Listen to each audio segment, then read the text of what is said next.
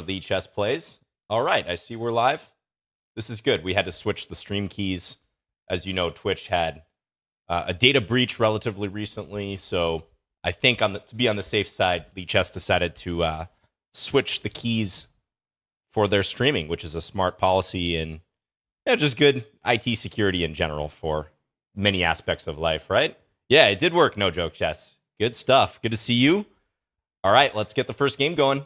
You guys know the drill. Hey, K Buckby, look at we have a familiar face in the first game. familiar face here. Let's do this. Good luck, K Buckby. this is a longtime viewer of my channel. They're very frequent, frequently in Lichess Play streams as well. Good player. Well over 2,000. Yeah, let's get it.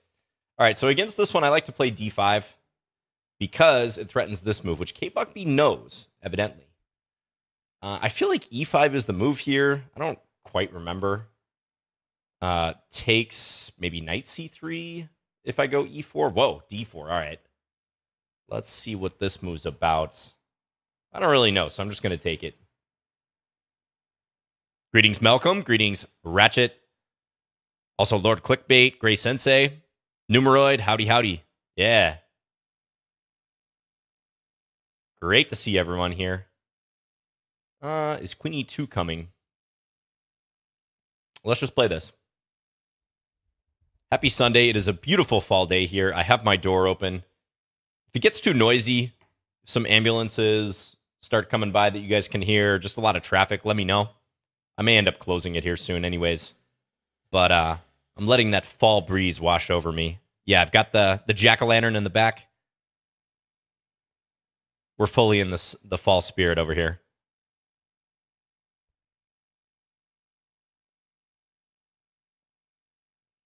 Hello, Abyssum.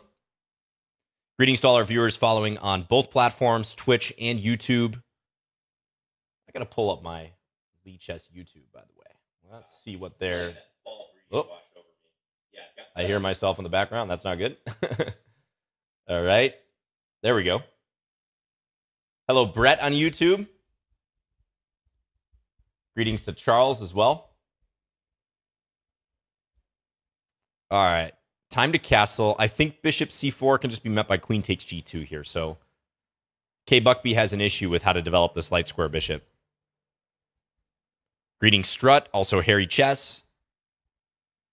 Threat here, or is it? Is it actually a threat? You decide. I play the moves, you decide. But yeah, white's position is a little bit too loose. So knight c7 can be met by queen e5 check. And K Buckby is not going to be happy about that one. That is a full piece. No easy forks here, K Buckby. I'm sorry. Hello, Mr. Brightside, along with uh, Francis. Hello. Okay, let's just keep this simple. Let's take and then develop here. I'll get rid of that knight. Knight seems mildly annoying. White has the bishop pair, but I'm going to blockade the d5 square and shut down this dark square bishop. Hi, Buck B. Wait, Buck B, are you different from K Buck B? My opponent? Cheap tactics? That's not a cheap tactic. That's a legit tactic. Hello, Jovatov. Is 3 plus 2 okay? No, you have to challenge 3 plus 0. So we do have to be pretty strict on that just to keep things rolling. He's your brother. Ah, okay. My condolences, at least in this game. I'm sure he's a great brother. but this one is not looking good for him.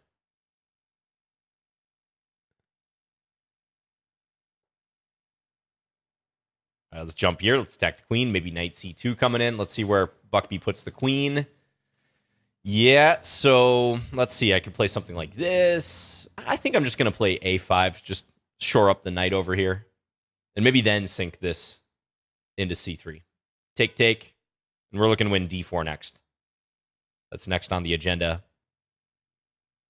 Hello, Heisenberg. What's the situation on my GM norm? I have not played any tournaments for two years. I guess that's the situation. Uh, let's take here. I'm okay with trading and then letting him take a5. We'll get some stuff off the board, I suppose. What now? b6 maybe? Mm. Yeah, I guess we'll play that. Like to be able to keep this pawn, but I don't know if that's going to be possible. Might just have to allow Buckby to win a pawn back, but Buckby will have to trade down with me in doing so. Now I'm going to go here next. That's the plan. Mm-hmm, mm-hmm. Okay, uh, bishop c4. Now, let's go bishop e6. Further trade down.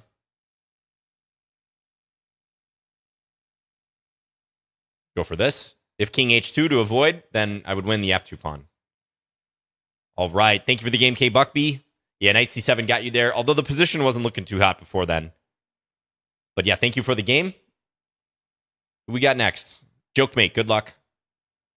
1804. Let's play d4. You can challenge rated or casual, it doesn't matter. But just has to be 3 plus 0. That's the one stipulation. This is the Marshall defense. Problem here is that black cannot contest the center with a pawn. So when you're declining the queen's gambit, it's usually best to play e6 or c6 so you can recapture with a pawn should white take on d5. Here, this somewhat resembles like a Grunfeld or something, but a poor version for black because their knights are getting kicked around. Maybe you could draw a parallel to the Alekhine's defense. Any plans to return to tournament play soon? I'm playing around with the idea of playing in maybe like a month and a half at the uh, U.S. Masters. That's a it's going to be a pretty strong event, but nothing definitive yet. All right, let's be aggressive. Let's try to attack this bishop. See what happens. H5, I'm going to play knight e5 and put some uncomfortable pressure here on f7 maybe. Let's, should I take here? Let's take here. Trade queens take with the king, so black can't play bishop takes e4. Greetings, Super Baguette. Hello, Queener as well. Can I play a Jobava opening today? Yeah, I can try that, Rimmer. I'll give that a shot.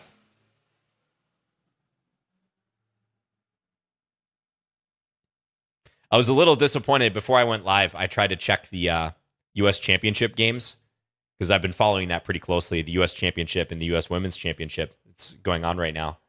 But today is a rest day. it was like uh, painful.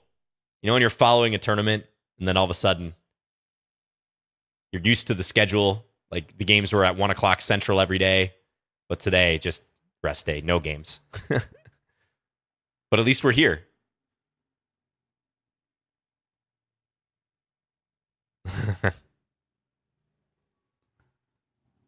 Is Nightbot giving you the wrong challenge link? Yeah, that might need to be updated. Maybe Numeroid or uh, No Joke Chess can update that. Looks like Vasif Durarbayli was playing a Lichess Plays recently, and it might still be the old one from that. Let's take here. Gonna go bishop f4 next, I think. We'll keep this pin. There's no rush to capitalize on the pin knight. How's Minnesota? It's it's great. Yeah. I uh, was traveling a little bit last month, but now I'm back home. This is my favorite time of year. I just feel extremely energized in the fall. I don't know about you guys, or I mean, it's going to depend where you live. If there's like a significant change of seasons, but this is my absolute favorite time of year. It's not too cold yet. I just feel inspired sometimes oftentimes in September, October, even into November. Okay, let's just castle. I'm going to castle this way. It feels a little more open on the queen side, so we're going to go this direction instead.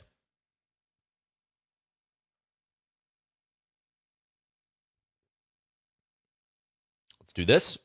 And I'm looking for knight d5 unless black's going to initiate a trade down here.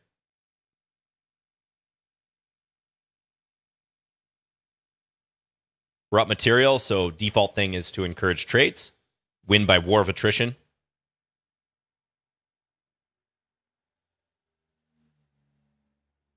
Let's give a check. Look for a massive swap here. It sometimes feels a little boring to win this way, but it's the most effective. Don't complicate things when you're ahead. Like your default state when you're ahead in material is that further trades are just going to increase your chances of winning.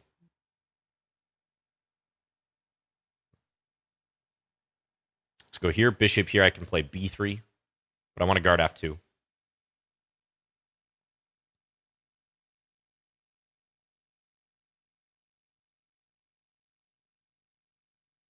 What will I do next? Maybe bishop c4 or bishop c6, perhaps? Might be a little overloading going on here, but looks like Joke Mate may not make it. Go there. Uh, let's just play this one just for absolute safekeeping on the f2 square. And then I'm going to play bishop c6 if I get a chance. Let's say black plays a4. Okay, thank you for the game, Joke Mate.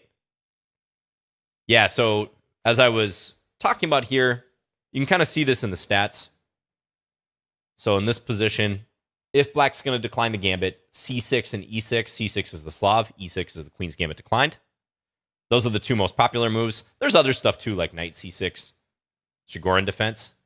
Um, but you don't want to play knight f6. We have to scroll down a fair ways in the master's database. I don't know if you guys can see this. Yeah, you can barely see it right here. The bar for black's winning percentage in this line at master level is tiny, you know, compared to some of these other defenses. So, yeah, you don't want to play this because fundamentally, after takes, black has to recapture with the knight or the queen if they want to win the pawn back. White has these two pawns unopposed. Compare that to something like the Slav, where whenever white takes, black plans to recapture with their pawn on d5 and keep two center pawns. So a little opening tip right there. Red Avalanche, let's let's do this. Good luck.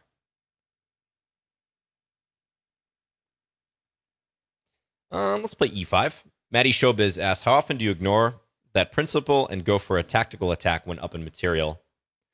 Yeah, you know, I might be in the camp that really likes to trade down, perhaps even more often than I should in some of those positions. But that's not to say that I'm ignoring attacking opportunities too. It's just that, let's say I have a choice between a potentially promising but also slightly risky attack versus just a swap and I'm already up material, I'm going to err on the side of the swap because it's simpler. Okay, watch out for smothered mate. Oh, okay. Now I can't take this pawn because of queen a4. That's important. No smothered mate knight f3.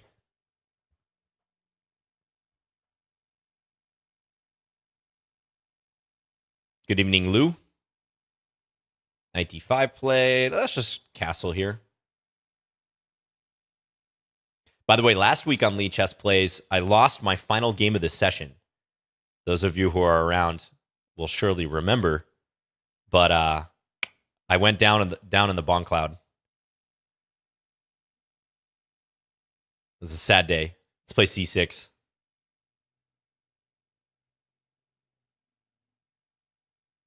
Yeah, I did lose on time. Yep. Had a tough game. I think my opponent, I wish I remembered their username I think they were like 2100, maybe 2200. This one I feel like we can take because I can drop the queen back, anchoring the knight. Hello, Darkwing Dog. Greetings, Charles on YouTube. Also, Het. Charles asking, will I play the titled arena next month? No plans to. I got to admit, I've been slacking on some of the bigger tournaments like the Titled Arena and uh, Title Tuesday. Just hasn't really, I say slacking, but it hasn't really worked for my schedule recently. But I do like playing those. Uh, ah, this this might win the pawn back because looks like I'm gonna have to move the knight, and then white can take here. So where do I want to put this knight? Let's go to e5. and then try to complete development. This bishop's a little bit annoying to get out, though, right? Let's do this. Try to go bishop e6 next. Greetings, Broken Blade. Do I have any plans to put some new, to, new YouTube videos out? Yeah, I do. Um, also, another thing I haven't been doing lately. But yeah, I will be back on YouTube in the near future, Broken Blade. Thank you for asking.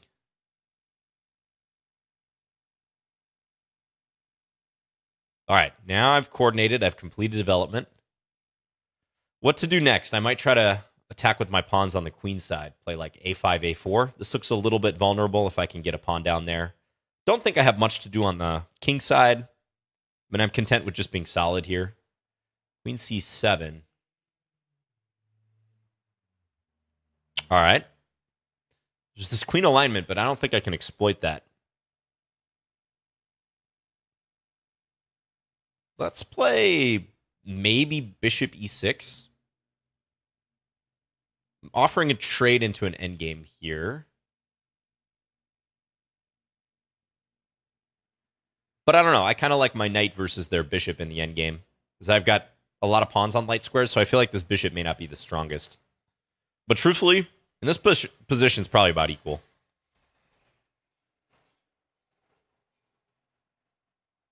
Oh, just as I said that.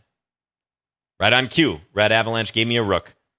Maybe they were thinking, you know, John, I know you got a tough stream ahead today, two hours of playing viewers. You're smarting from your lost in the last Lichess Play stream. So let me let me give you a gift here. Ooh, yeah. Sorry, Red Avalanche. You were doing well though. I mean, Bishop takes e4. I think this is anyone's game. Let's just take a peek at the eval right here. Hey, it even has you slightly ahead if you play bishop takes e4 or rook fe1. I guess the idea to take with the rook. You're a tiny bit ahead here.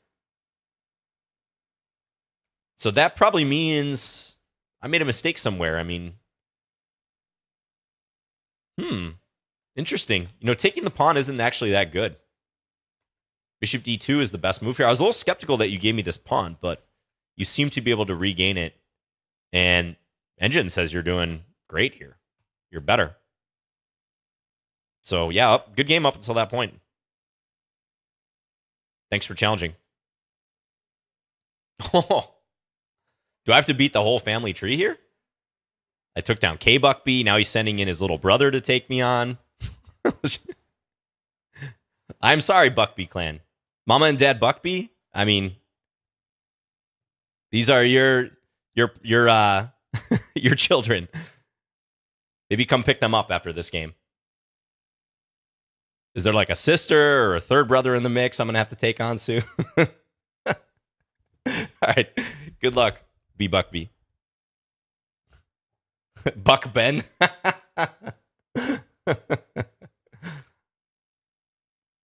yeah, someone's making the account Mama Buckby right now. Oh. Mamas don't let your sons don't let your babies grow up to blunder b2 pawns and rooks in the corner.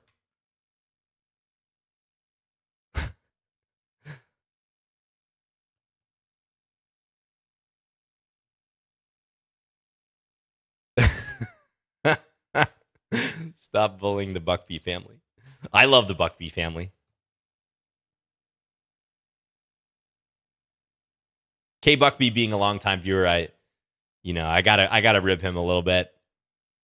B Buckby, I you know I had no idea K Buckby had a, a brother who plays chess as well.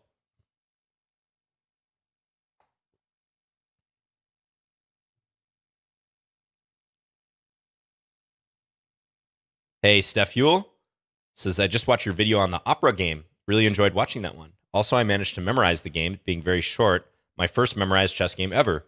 Thank you for all your content. Hey, great to hear. Is that one of the games I did on a like a physical board? The famous Morphy Opera House game, played against the Duke and the Count. In a Paris opera in, I want to say 1858. Does that sound right? 1858. Morphy was a guest in an opera box and his uh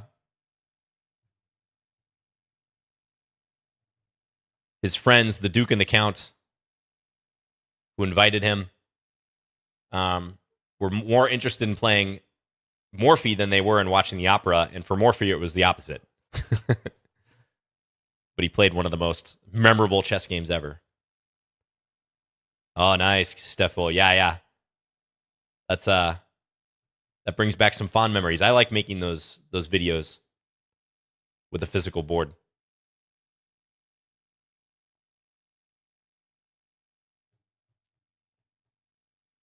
This is an optimistic pre move, but you never know.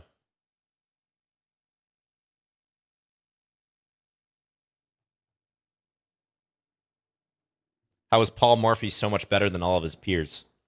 You know, just one of those generational talents.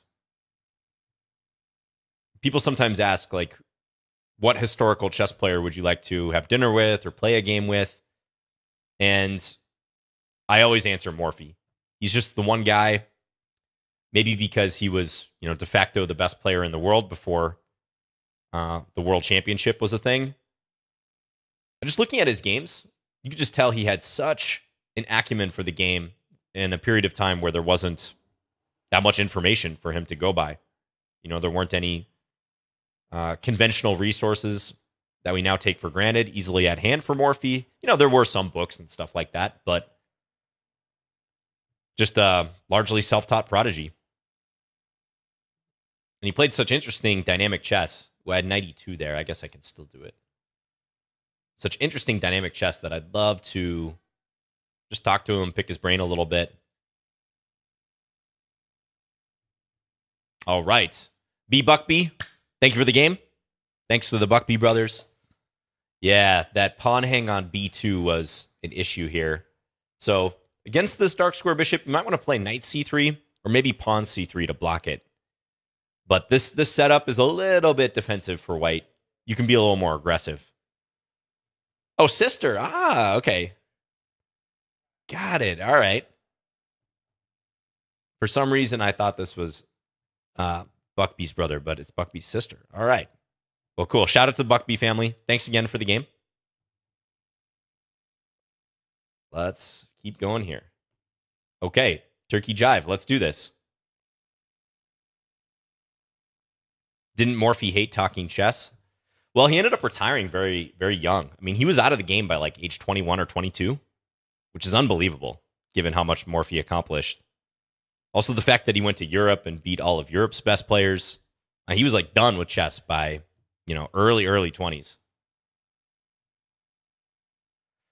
Turkey Jive, are you there? Knock, knock. We may have to move on. Sometimes just hovering over the abort button gets people to uh, make a move. But yeah, Morphy was concerned that he wouldn't be taken seriously and that he wouldn't be able to earn a living playing chess, which was, you know, a very legitimate concern in that period of time, and still is for a lot of chess players. This is an interesting little system. Bishop g5. Black can play h6, but then I'm going to go back to e3 and kind of argue that the pawn on h6 could be a target in the future.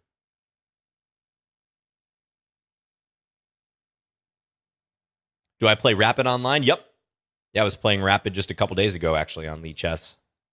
Let's go here. We can't blunder this pawn. We need to keep that safe.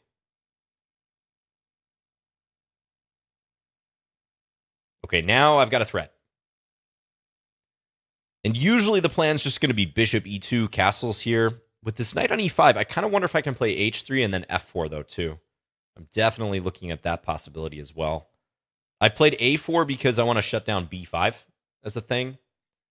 I want to be able to take multiple times. Maybe black could risk b5, but it doesn't seem good for their health. Let's go here, and I'm going to lean on the structure. Now, g4 looks like a natural move, but it might run into this, some sort of pushing around of the knights. I could see some scenario where the black knight goes back to h8, and that can't possibly be good for black. Ooh, okay. Queen a5. Well, we got to take this now. We're going to try to get through here. I think black's going to try to throw themselves at me on the queen side, but the king side is looking pretty sparsely protected here for black. Oh. I don't know about that one, though. Rook takes a4.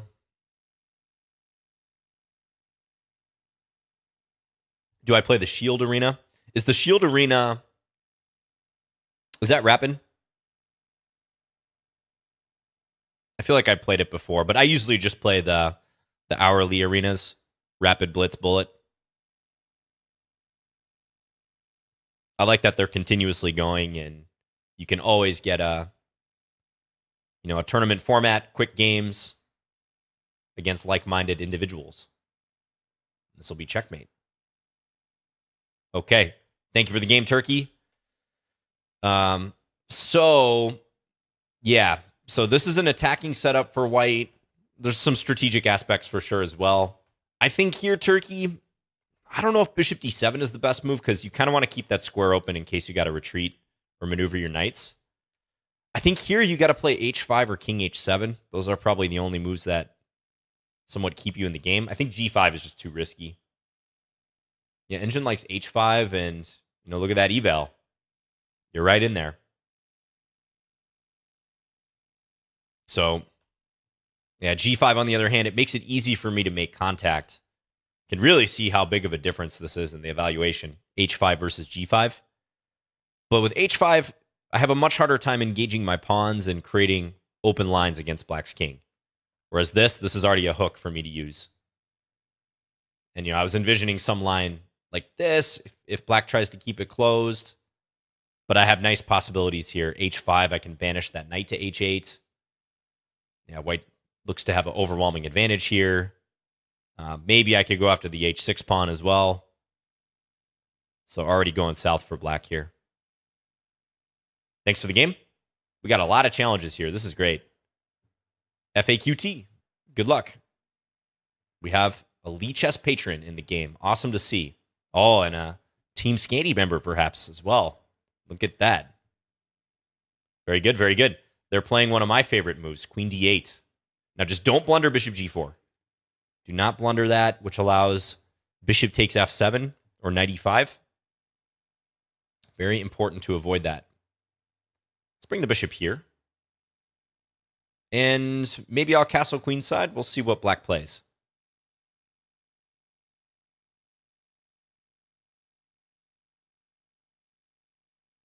yeah, can't get more goodwill than with that. Exactly. Now, FAQ could try to win a pawn here by doing this, driving my knight away, and then trying to win d4, but that seems pretty risky to me. But maybe. What if I go here now? Let's try to do this. Let's see what happens if I attack c7. Looks a little awkward for black to defend. I don't think they can defend it. Because knight d5 I'm going to take. Remove the defender of the c7 pawn.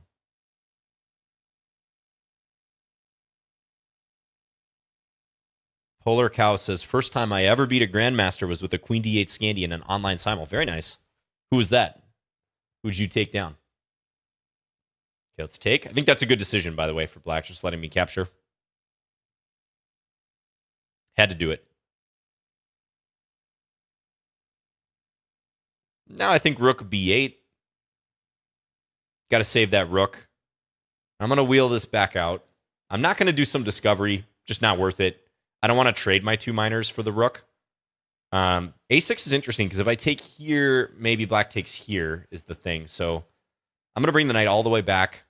Let's see if FAQ, yep, they do good. FAQ is noticing my threats. So that is good.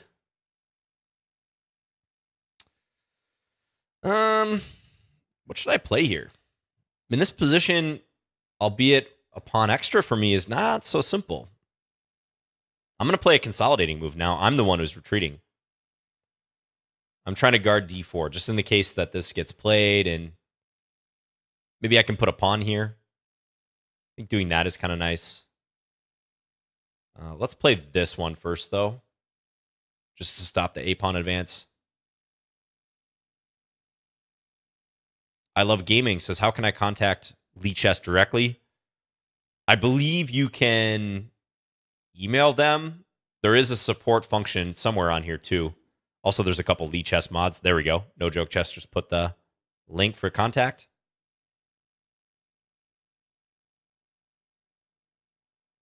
It was Pouria Darini. Ah, okay. Darini. Is that a Iranian grandmaster?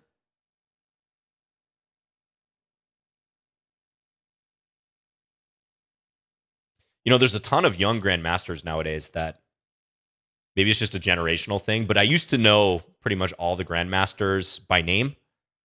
You know, not like I knew them personally, but it's getting increasingly harder these days to like recognize a lot of the younger generation's names because there are so many young GMs coming out of the woodwork. Uh huh. Darini is a Iranian grandmaster. Okay. Yeah, that is an up and coming chess country for sure. Iran. I mean, probably Alireza being the best example of talents coming out of there.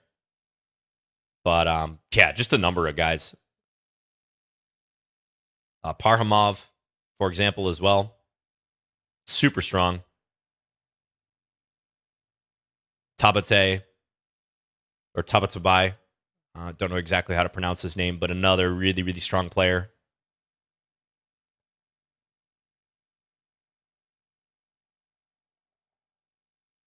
India too. I mean, Iran and India. I would say the two two countries with the biggest crop of young talent. So they're going to be forces to be reckoned with in future Olympiads. They already are, especially India. India does extremely well at uh, you know the Olympiad and team competitions. They're so deep.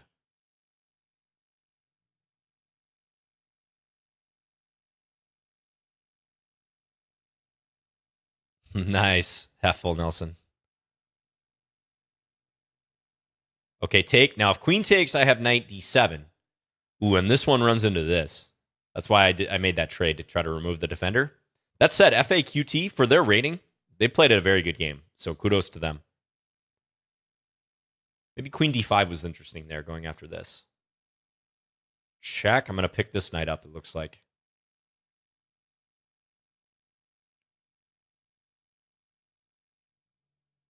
All right. FAQ, thank you for the game. I think you were hanging right in there. Even after, I mean, I give you a lot of credit because even after you lost C7, or it was clear that you were going to lose the pawn on c7, you didn't panic.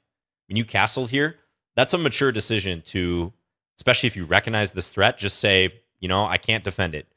Because you could have made things a lot worse. Like, say you go knight d5 here, which is the only other real attempt to defend, unless you're going to play something like e5. But that could have made things a lot worse. I would have taken, and then that's how you end up with something like this. So, yeah, good game. I mean, I had somewhat of an advantage after this, but you made me work in this one. So keep it up. Good luck with your chess improvement. Okay. Me, GR. Good luck. 1576.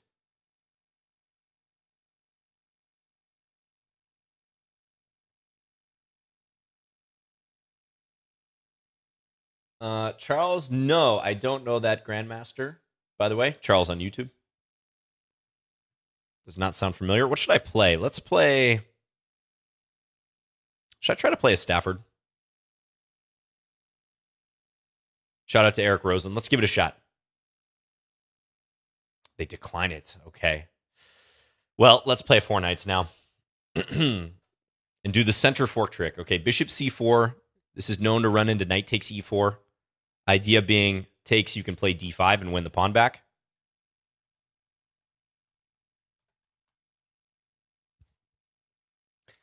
White can play bishop takes f7 here if they see the point of this. But that, I think, is even a worse version for white because black obtains a super strong center, two mobile pawns in the middle. 1,948 GMs awarded by FIDE to date. Wow.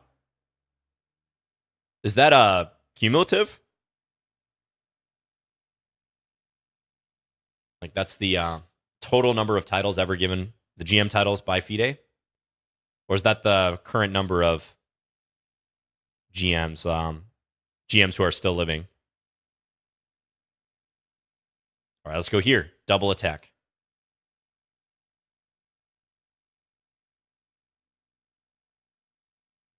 Hmm. Wow. Cumulative. That's an exclusive club, right? So only 2,000 individuals who have ever walked the earth have ever been awarded the GM title by FIDE. No less than 2,000. We're about 50 away, but that is ultra exclusive.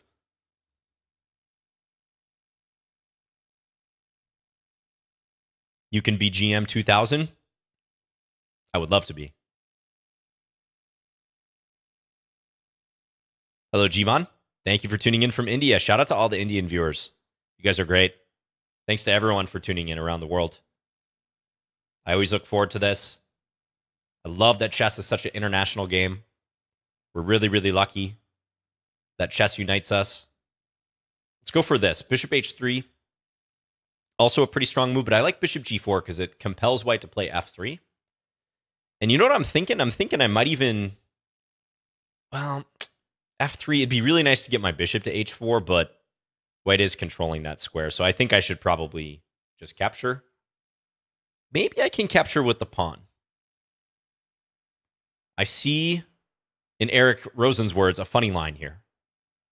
I see a funny line. Rook f2, queen g1. Oh, we're going to get it. It's the rare pawn mate. Ooh, that's nice.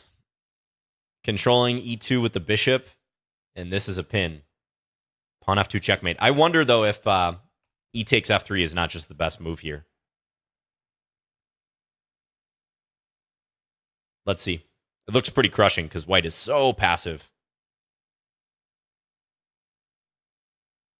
Hmm, bishop takes f3 may be stronger.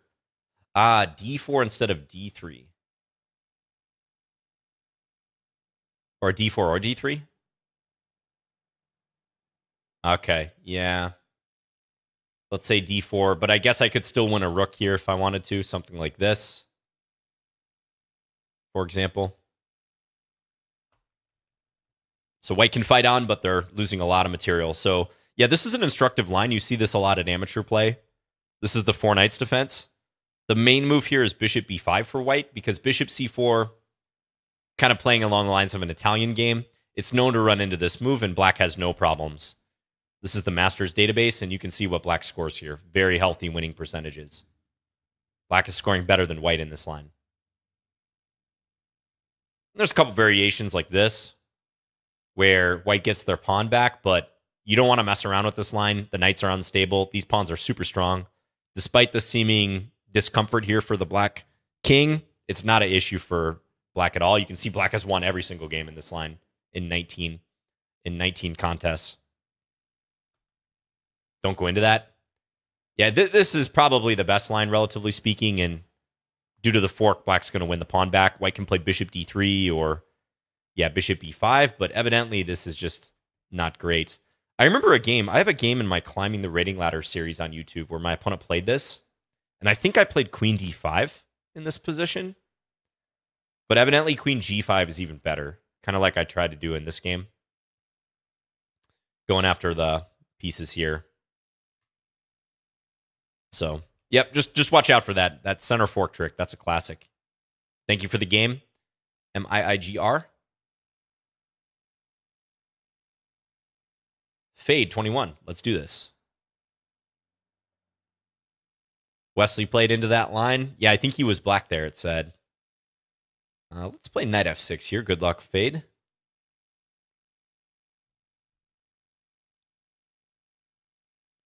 Let's play maybe a Nimzo. Nimzo Indian coming in.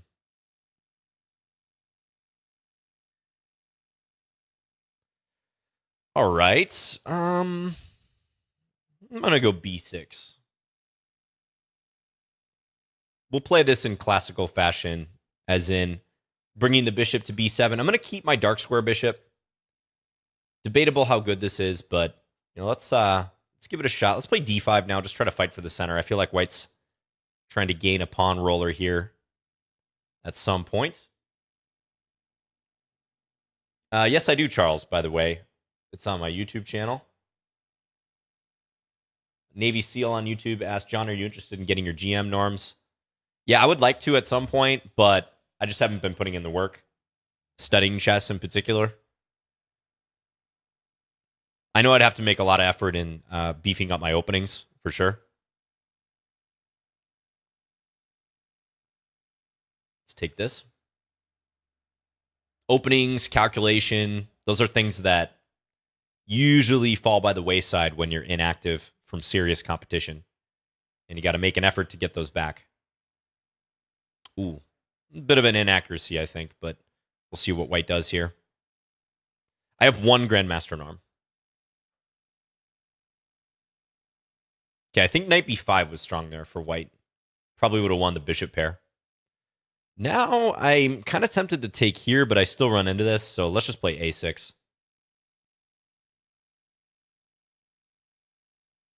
I achieved my first norm in, I always forget if it was 2014 or 2013. I think it was 2013 at a tournament in St. Louis. Ooh, very tempted to do this, but I'm just going to play h6. I, am kind of wondering where white's going to put their king.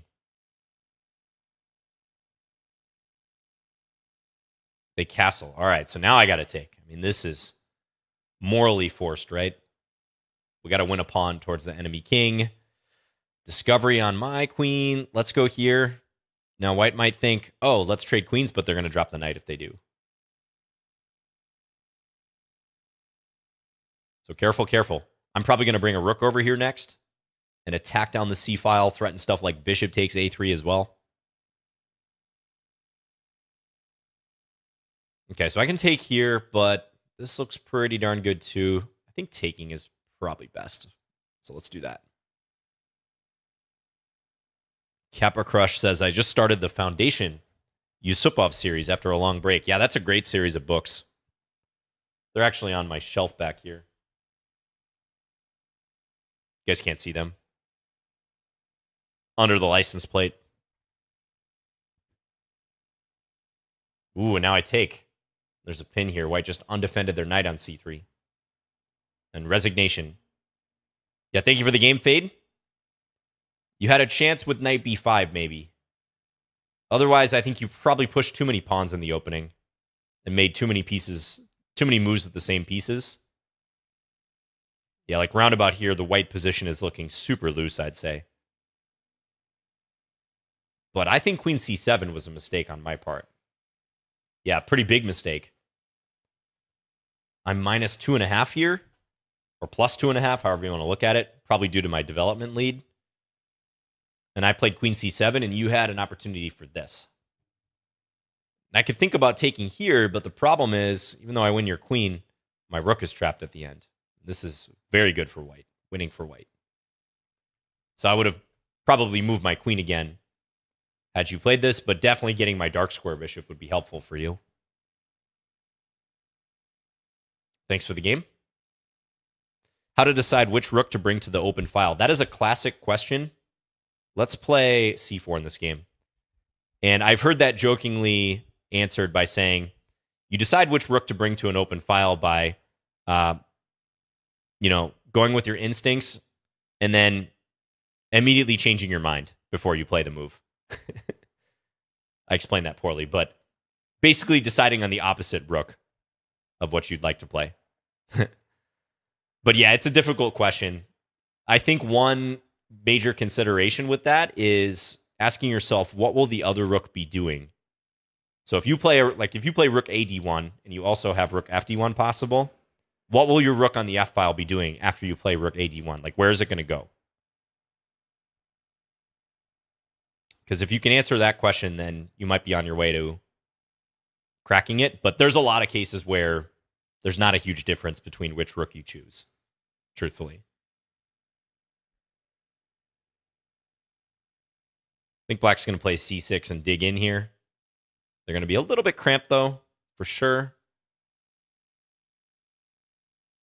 So when the opponent's cramped, you usually want to avoid trading pieces. So let's say black plays knight bd7. Okay. Mm, let's go knight c4. Going to go here, and I might try for bishop f4. It depends what black does, but let's see. Hmm.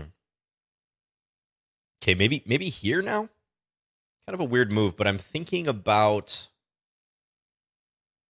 trying to go knight d6. Queen a3 stays out of range of this knight, but queen a3 maybe black can move their queen. This looks interesting though. Let's do it. And I'm I'm preventing black from castling because remember you cannot castle into, out of, or through check. So I'm preventing black from castling, and I, I'm focusing in on the d6 square. Maybe bishop f4 coming up.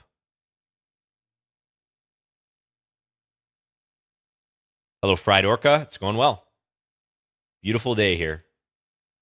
Yeah, let's do this. I want to try to drop knight d6 and could also play it right away, but that feels like selling out too cheap.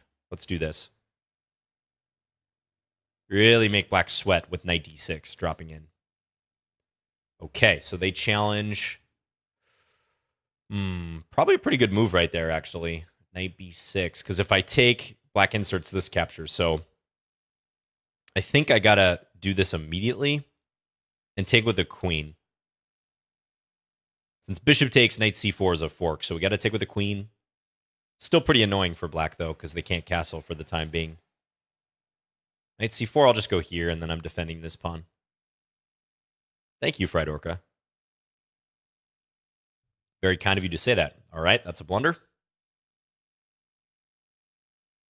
That's kind of a weird blunder to make because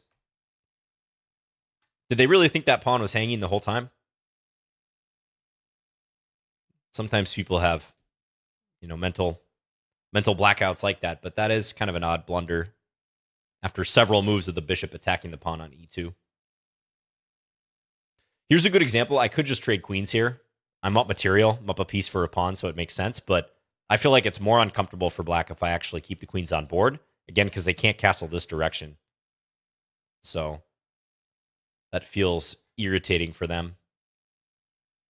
They're probably going to end up castling this way, but I like my bishop in that case. The dark squares are a big, big issue for black. Let's play a4. a5 will drop a knight. Uh, knight d5, happy to take that. Knight d5, I'll take again.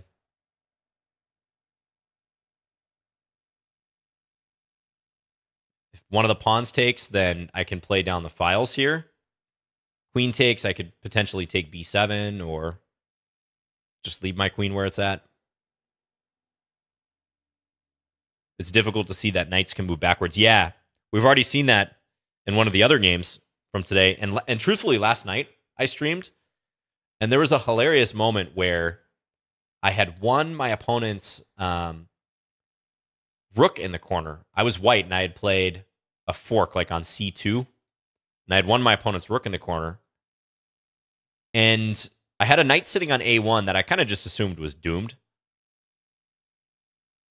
And my opponent at some point played queen from f3 to b3 and my knight on a1 could have taken their queen, and I just did not see it. I didn't see it whatsoever. The chat was the one who pointed it out after the fact. and like classic case of uh, knight backwards blindness. Thank you for the game, Jan. Yeah, so this this is another line that's problematic. So this is basically the Scandi against C4, the Anglo-Scandinavian. But compared to the conventional Scandinavian e4 d5, here black actually gets to trade center pawn for center pawn, right? But in the Anglo Scandinavian, kind of like the Marshall defense, white has two center pawns against black's one, and black's losing some time. This this can't be recommended, even though there's some shades of the Scandinavian. That's a bit too much when you're giving them the two center pawns for nothing. Maybe I'll try to show you guys real quick before we play the next game. Uh, let me see if I can locate the game.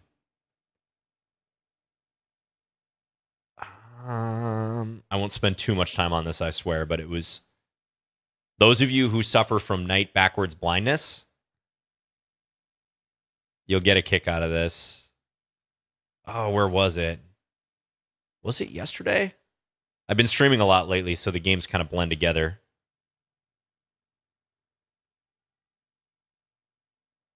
Where, where, where? I was playing a much lower rate of play, or wow, it might have been three days ago.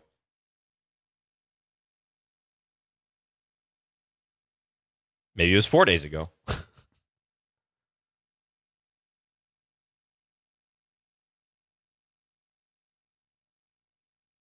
it, nah, it wasn't that game.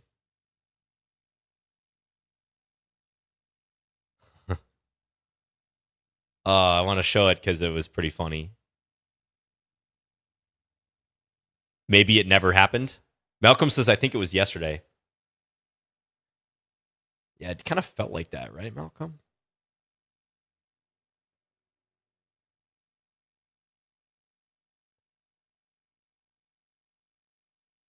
Oh, I think it was this game against Unknown. Yeah, 14 hours ago. Okay. So Cliff Notes version. I was black. I got a fork in here. And I just assumed this knight was dead because, you know, there's no way out. And in this position, I played knight takes e5, hitting my opponent's queen. Oh, I guess they played queen e3 first. Then I took here. And then they played this move. And I just did not even think about this. Didn't even cross my mind. I just mentally assumed that knight was gone. And I wonder if this was like a forward attack with the knight if I would have seen it. But I took my opponent's bishop, and the chat was like, John, you had a hanging queen there. so it happens to everyone. Okay, next game. Hang 98. Good luck. The manager says 100% something I would miss. Elvis says I wouldn't have seen it either. yeah, backward knight moves. Definitely a weakness for a lot of players. Um, I remember a painful game that I failed to win in the Pro Chess League a few years ago. So I was playing in the Pro Chess League um, on chess.com for my team from Minnesota. And they've changed up the league. They've consolidated a lot of teams nowadays. But basically, the format was like four versus four round robin. So you play everyone on the opposing team. Should I go all out here? I'm kind of feeling aggressive, so let's do this. And I was playing the last player. We played a team from China, and I was playing the last player on their team. I outrated them by you know a few hundred rating points, but it was a promising young player. Got a winning position, and at some point, I believe I could have won an ex- no. At some point, I was up in exchange and trying to convert the position to a victory. And had I won, our team would have advanced to um, the playoffs. Like that was basically the scenario. But I missed a backwards knight move from my opponent, and I only ended up drawing the game. And we really needed that victory, as it turned out. I mean, it wasn't like completely my fault, so to speak, given that it was a team competition, but that was a consequential game. And it just looks so obvious after the fact this knight move that my opponent played. It was something like, I don't know, like knight c8, forking two rooks here and here of mine. So it was kind of a weird move, but something I should have seen. And yeah, it just really highlighted to me how difficult those moves are for us to process. I'm purely playing for an attack down the H file here, by the way. Yeah, the Pro Chess League with the, the a lot of the local teams was pretty fun, wasn't it? No joke. All right, let's take. And if pawn takes here, I could even take with the bishop if I want. Do I have a mate here? Check. Check. It's a lot of checks. I don't know if there's mate per se, though.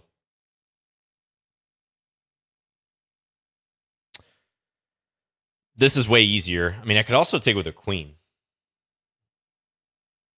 I could also just go here. That's probably the most brutal thing of all to do. Just threaten mate. It almost feels like I have force mate here, but I'm not quite seeing it.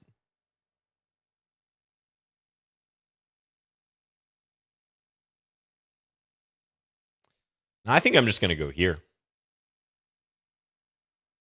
Because to avoid mate, black's going to have to play f6 or f5 or even queen g5. But I think, let's say f6 is played, I take here, and this is undeniable, along with this threat too. How do you deal with losses? The fear of losing puts me off playing chess sometimes. Yeah, you definitely have to learn to live with that. You have to look at losses as data points in this large scatter plot of uh, games that you're going to play towards your improvement in your chess career. It was just another data point. Thank you for the game, Hang. Yeah, I really played caveman style here. This is probably a type of move the computer's not going to like. Yeah, it's not like one of the top, top moves, but it's pretty tough for black when you start battering through like this, just psychologically. Just wants me to go bishop h6 here right away. Not even worry about defending the g4 pawn. Interesting. Okay, yeah, you had some chances. Bishop takes g4 here, and you're maybe still alive, but the margin for error for black is pretty slim at this point. Make one mistake in a position like this, and it's GG. All right, and look at that. Queen h6 is the top move here. Yeah. But pretty much everything sensible is winning for white. Dark squares around black's king are too weak. So, Hang, if I were to give you some advice, I think actually black should challenge the center a little bit quicker when white adopts this formation. So maybe e5 right here versus knight bd7. I'm not a big fan of a5. I don't really think you have time for a5 here because a5, you're a long ways away from making contact with my pawns. I know you want to pawn storm me, but compare that to my plan of h4, h5. It takes me one one less move to make contact with your structure. So I feel like your best bet is still to maybe play more towards the middle, like e5, maybe c6, b b5, b4. But I got to admit, I already like this position for white. But thank you for the game.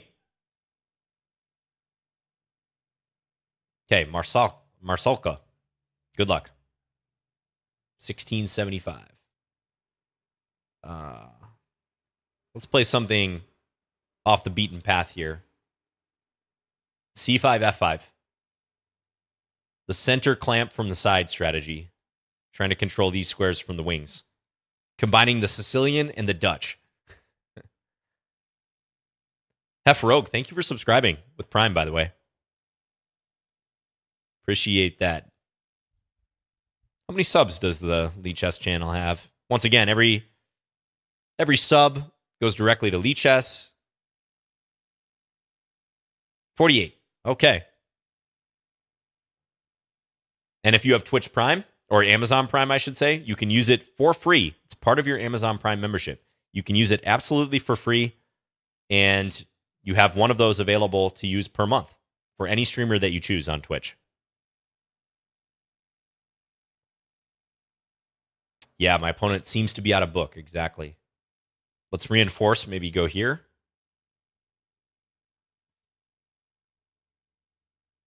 Hmm, that is strange, no joke.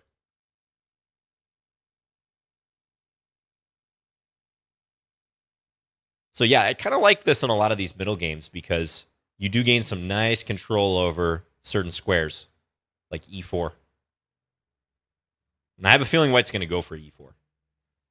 And when they do that, I could take, I could maybe play f4. Okay, they're going here. Let's just play the bishop out. Maybe b5, b4 is an idea. Yep, here we go. e4. Hmm. Could capture. I kind of like this move too, though. Let's just push. See what happens. Let's push again. Kick that knight. See where the knight lands.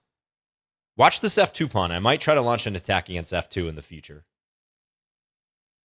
Let's say something like knight e2, queen b6. At some point, my rook might be useful down this file. Oh, half full Nelson gifting a sub to set Landon. Thank you very much. Um, Grandmaster Aman Hambleton, one of the Chessbrahs, recently played a game where he sacked his queen on f2. Or sorry, he sacked the queen on e3 actually, with a white king on f2. It was a beautiful game. So it kind of reminds me of that. Although not nearly as beautiful, at least yet. Hello, Dottie38. I just haven't been posting on YouTube, period, right now. But the standard videos are definitely uh, some of my favorite videos to make. I do have to watch out for this, by the way, but this is a far greater threat taking here.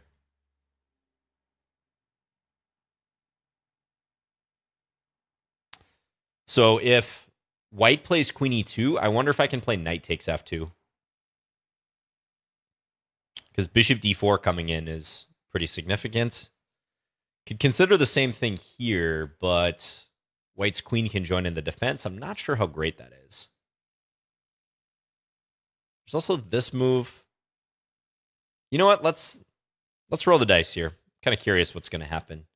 I feel like this is the most interesting move for white. Knight takes g6, but white didn't play it. Yeah, white's playing a little defensively, but I think they had to gamble there with knight takes g6. This now looks like I'm up a pawn with a fair amount of control. Polar Cow with the 400 bits. Says super cool that Lichess hosts these events. I agree. Kudos to Lichess. This is awesome. It's a great initiative. They've had uh, Mamedyarov do, do streams. I guess uh, Grandmaster Durarbayli recently did one. So they really are able to include a lot of players and uh, get a nice mix of people doing Lichess plays. Anyone on the agenda coming up who normally doesn't do it? No joke. Mm, let's play bishop here. Let's try to use these bishops offensively still.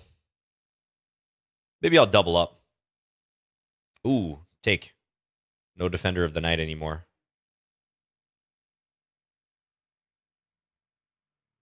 Durarbayli again on Wednesday. All right. Oh, and you're going to do one tomorrow. Nice. Excellent. Like an actual AMA, like on Reddit, or you're streaming tomorrow? Thank you for the game, Marsalka. Yeah, this was interesting. I wonder about knight takes g6. I think. Oh, knight c4. I totally missed. Speaking of knight moves, this is a forward knight move I missed. This is when I took on b2. So I had just played this capture. The computer says do this, and I could defend. But yeah, this was not part of the plans. Take, take, then take here, and white's better. Look at that. So maybe I should have taken time out to defend that pawn.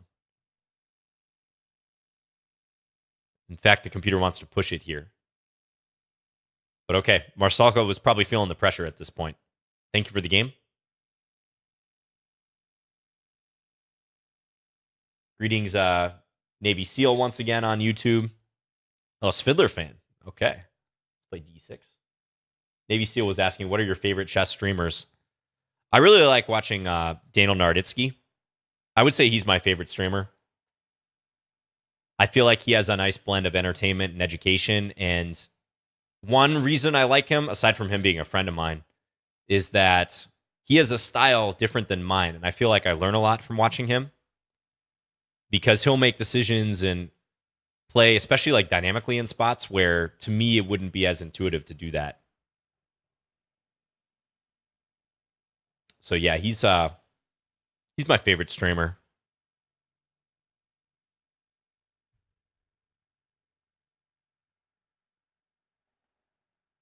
What do I think about Penguin streams? Yeah, I don't watch Andrew as much. I'll pop in occasionally. He's kind of um streaming inconsistently, I think, probably because of his school schedule and uh, maybe interning work and whatnot. And also, he plays he plays tournaments too. But you know, if I want to watch someone who's just amazing at their craft, especially playing quick games, I will watch him, especially if he's playing like Magnus or Hikaru. Those are you know very very entertaining.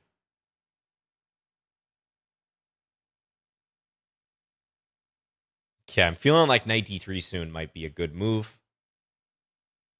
Uh, you know what? Let's just sack a pawn. I'm going to do this. White can take here, but I'm going to, kind of like one of the previous games, try to prevent white from castling and play in the center.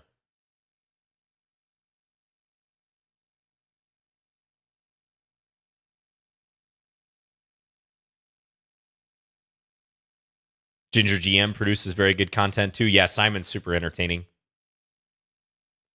Absolutely. Ooh, and white does not take the pawn. All right.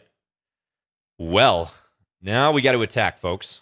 Let's go here. Let's unleash this bishop. Let's uh try to create some prop. Ooh. This looks quite dangerous. I think I got to play this. Get the double attack going here. Now c5. Move knight. This is collapsing for white. Now we will take because knight takes c3 or bishop takes c3 is going to hurt. Okay, what's the best way here? Both moves are probably good. I think both moves are winning. Uh, I see a way with bishop takes c3. I can maybe win my opponent's queen for a couple pieces. Aesthetically, I like this move better.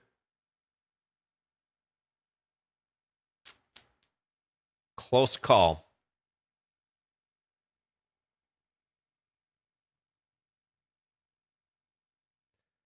Uh, I'm going to take with the knight.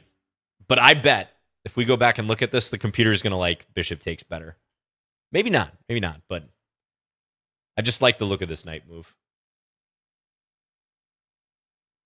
Okay, and now I'm going to play queen here and try to get into this square, also hitting the knight a couple times. I have visions of, like in an ideal world, maybe a smothered mate. It's part of the reason I'm doing this. I don't know that I'll be able to pull it off, though. This is a mate in two, so I might just have to do that. But I really would like to do this. And queen f1.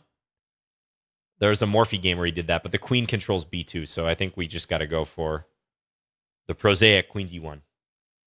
Still sacking the queen is kind of nice. It's a nice efficient mate with the knight controlling e2. Go for the smothered mate. Thank you for the game, Svidler fan. Yeah, it just doesn't quite work, right? But here's what I was thinking. Again, if the queen was not here, the queen was not there, we could do this. You know what I mean? Ah, that would be so nice. Yeah, famous Morphy game where he did that with the white pieces. But alas. All right, what do we think? Does the engine like knight take c3 or bishop take c3? It's really close. It's close between those two. It actually likes knight takes c3. Oh. Okay, bishop takes c3 falling. It even likes queen g5 more than that. Interesting. Well, one line I saw with bishop takes c3 is that here I could play knight f4 followed by rook takes d2. So that was how I could win the queen maybe for a few pieces. This is winning for black, but didn't seem as exciting as some of the other lines. So, Svidler fan, if I were to offer you some advice, you played the London. Yeah, so here I think bishop d3 is a bit of an inaccurate move order. I think you should play knight f3 so it's harder for me to get the e5 move in. And let's say I go rook e8 or maybe queen e8. You'll probably want to put the bishop on e2 so that when this move comes, and let's say you retreat your bishop, e4 does not come with a fork on these two pieces. I already like black's position here, though, because this knight's a little awkward. But yeah, uh, that's why against the London, or with the London, when black plays something like d6, I think the London loses a lot of value. You might want to consider playing e4, slightly different approach. I mean, you could still play this, but uh, you might want to think at least about switching it up and maybe going into uh, the white side of a. Thanks for the game. No Pinot. Let's do this. 1974. Good luck. Oh, I see Maverick on YouTube was saying knight. Knight is better. So you like knight takes c3. I'm glad I played it. All right, let's try to get a Gingy in. Gingy Indian, one of my favorite openings. Ooh, they don't play into it though. All right, we'll just play this the normal way. Take, take, knight c6. Can I play the Czech Pirc defense? Oh, you mean like the Czech Benoni? Or is the Czech Pirc a different line? Is that maybe um like d6, c6, queen c7? I also said I might play a Jobava, and I have clearly not done that yet. Let's guard this.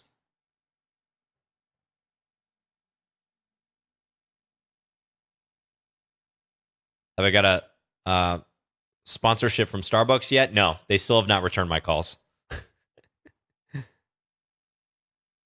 but that's okay because I'm not I'm not drinking Starbucks coffee really these days. I have um, a couple coffee machines in my building now, which is awesome. Okay, this is looking good. What do I do from here? I feel like c5 might be a decent move. There's a standoff on the b file. I'm playing this even though it opens the light square bishop because I don't want my bishop tied down to the defense of the c6 pawn. And long term, I'd like to go after these guys.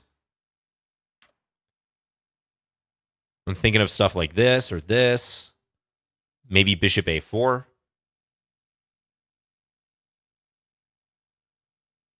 Let's go here. Let's just see where white puts the rook. Uh, maybe they could go here. I guess I play a6 then. Okay, there I'm going to go here now. Attack this pawn. Maybe back to D. Whoop, don't pre-move that, John. Maybe back to D7 is better. All right, White's really opening it up. I think they had to go Bishop F1 there, for what it's worth. Uh, let's take this one. I'm going to set a little bit of a trap. See if you guys can spot the trap. The key is you got to play this fast. Rook takes d6, rook b1 is the trap. White's going to have to play bishop f1 and lose. They see it, though. They play bishop f1. Okay. Let's take, and maybe rook here next. I'm just nursing uh, a pawn advantage in this position. Bring the king up next, probably.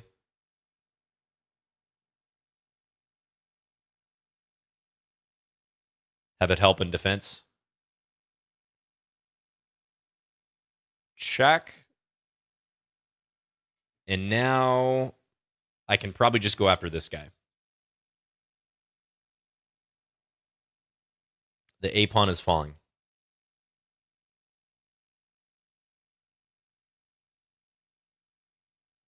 All right. Up two pawns at this point should be a pretty straightforward technical win, but still got to be careful.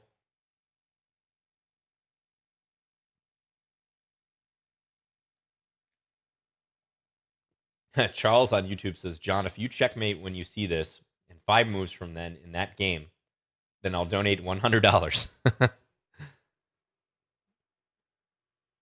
That's a very specific thing. But I appreciate it, Charles. If you did donate donate $100, it would go to Lichess. So that is uh, further reason for you to do it if you if you feel so inclined.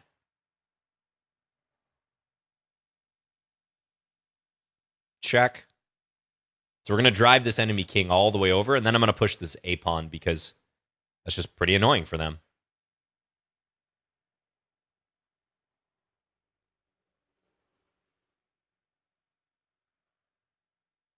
Attack the weak pawn, push again. Now I'm going to go rook a4, most likely next. Really force white to defend, rook a2. They have a passive rook, and now we're just going to walk in here and eject the rook or force it to sacrifice itself for the a pawn. What's my favorite time control? Mm, interesting question. Yeah, thank you, Nopino, for the game. I say my favorite time control is actually probably 3 plus 0, to play online at least. If I'm like having fun and also trying to explain a few things. For instructional purposes, I like 10 minute or maybe 15 plus 10. In tournaments, I like game in 90 with a 30 second increment. Yeah, so thanks for the game, No Pino. Um, definitely a tough, tough middle game. You know, whenever your white takes on c6, black's pretty happy about that. You're kind of suffering here. I think the position was maybe not as dire as you probably thought at this point. e5 does lose a pawn. You can still play bishop f1 here, and it is pretty passive, but I, I would have to um, work pretty hard to to make further progress. So I think you had to go here and defend this pawn. So thank you for the game. How do you sub with Prime? There should be an option in the bottom right hand corner if you're viewing on uh, Nature. Good luck, by the way. If you're viewing on desktop, there should be a button on mobile as well. If you click on subscribe, it'll give you a list of options. Thank you, Dottie, if you decide to subscribe with Prime. Let's go here. We'll try to play this like an improved version of a French defense. The bishop outside the chain.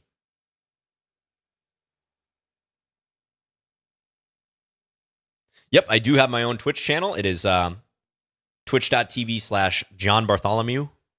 Just my full name, John Bartholomew. Just like Nightbot put in the chat there. Thank you, no joke. Uh, pawn or queen? I'm not really sure which one's better. I'll take with the pawn. I think queen takes just as good. Let's get this developed. Knight g6. The Aaron attack says your advice to play three 15 minute games rather than 15 three minute games if you want to improve always stuck with me. Yeah, definitely. You know, I think you're going to get a lot more out of your rapid and classical games that you play online than your blitz games. And don't fall into the trap of thinking that volume is the most important thing. Like, there are a surprising amount of people who think that playing 100 one minute games is equivalent to like the same amount of time spent playing um, good quality rapid games. It's just not the same.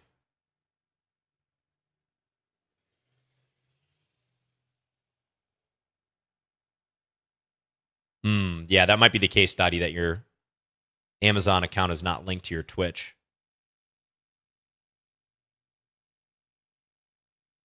Rufus versus Doofus, hello to you. Says the last over the board tournament I played was 40 and 120.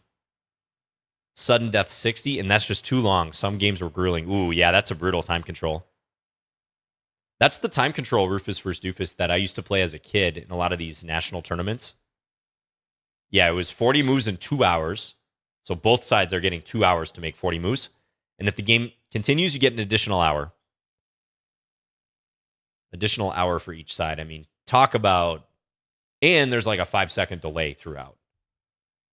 I mean, just way too long. I can't believe people regularly played games like that. or longer in some cases. 90 plus 30, because the major thing is you're playing two rounds per day in a lot of these events I'm talking about. So two rounds where a game could last, you know, four to six hours is just way too much. But yeah, 90 plus 30 is better. So 90 minutes per side with a 30 second increment throughout. Then you're usually done in, you know, three to four hours max. Four hours would be exceptional with the increment. Like that probably means you're playing a really long game. So most games are done in, let's say, like the two to three hour range. That's comfortable if you're playing two games per day. Okay, my bishops are going to cause white some pain here, I think. Rook e1, bishop b2. Ooh, the backwards knight move. So do I play this one or this one? I think I'm going to play this one. Take, and then I'm going to go here. Or maybe I take here. I could go here, and my bishop might not make it out. So let's retreat here.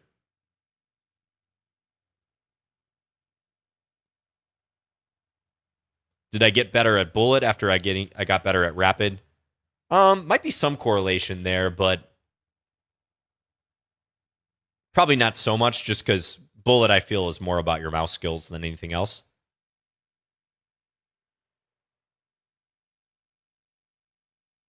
Your strength may be reflected in your bullet rating, but not necessarily. You gotta have a fast mouse or be adept at using the, the mouse in general.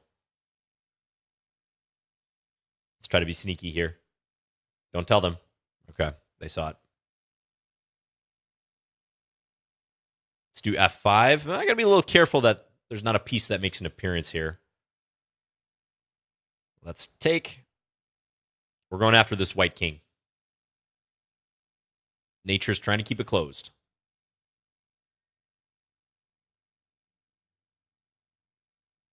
Mm. I don't exactly know here. I want to open it up in some meaningful way, but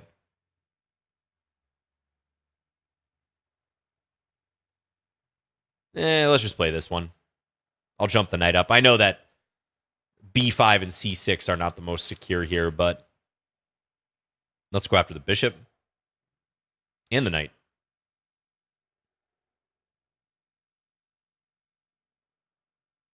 Okay. Um could take the knight, but queen f6 is a problem. Let's do this. Okay, thanks for the game nature. So the bishops caused you some issues here. Yeah, this was a Scandi where white played e5, and I controlled the center from the side. I don't think this is a great line for white. At least though my bishop didn't make it to g4. Yeah, thank you for the game once again. I feel like things were okay for you around here. But maybe you got to move your queen or probably around here the bishop b2 threat is starting to become significant. So maybe h3 is a mistake. Maybe something like queen c2 is better here. then if bishop f5, you can perhaps go here. Still a little uncomfortable with my bishops, though, slicing into the position. Okay. Still got a ton of challenges. Over 100 challenges. Wow. Wonderful Tactics is next. Good luck. Let's play a Smith Morra. Do I know anything about Mighty Geometry Chessable course? Was nominated in the course competition and looked cool. Nope, I don't know anything about that one. Sounds interesting though. Ah, this one. All right, let's go bishop c4. Bishop b4. I think that's a little dubious. But let's see what happens. I feel like the dark square control should be pretty significant here. But again, let's see what happens. I'm going to go queen into d6. We're playing this more strategic in terms of uh, compensation. Queen's defending the bishop. I'm going to dare them to take this pawn. They do not take it, though. What to do next? Tricky, tricky business. Um, Rook d3? b5, I'll play the bishop back. Okay, knight moves. Let's go here. Trying to stop knight e5 just so I have a little more presence over here. Maybe bishop b6 is starting to become a thing. Queen could escape over this way, though, so I'd like to take that away. Interesting position. I'm down a pawn, but black's in a bind. They have trouble on the dark squares in particular.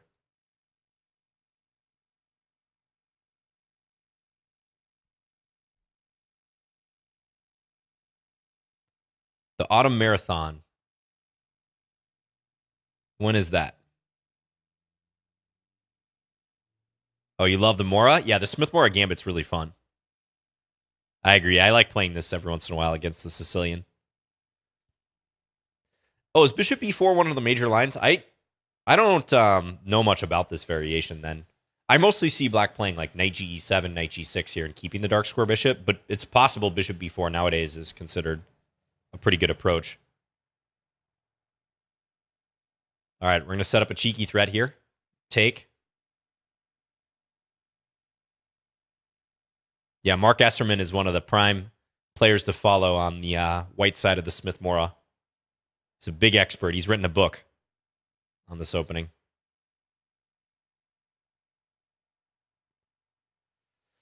Okay, so Black's continuing to dig in here. Let's try to threaten stuff.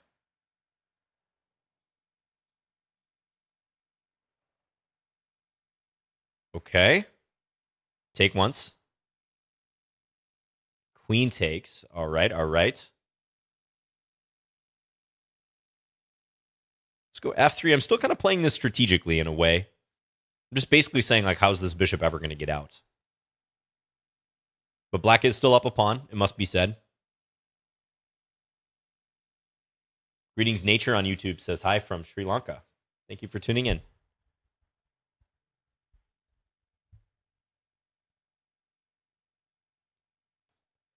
All right, I feel like A4's got to be the move here. Let's do it.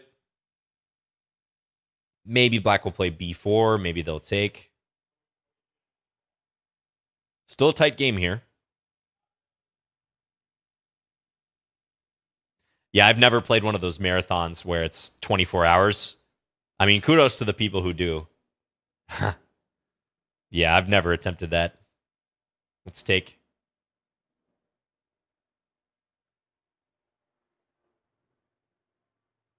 I did play an over the board tournament called an Insanity tournament when I was um, right out of college. And I think it was like 14 games of game in 30 over the span of like maybe a little over 12 hours, something like that. No, it had to be more than that in terms of the time. Maybe like in 18 hours. I'll have to look up the cross table sometime. But that was that was intense.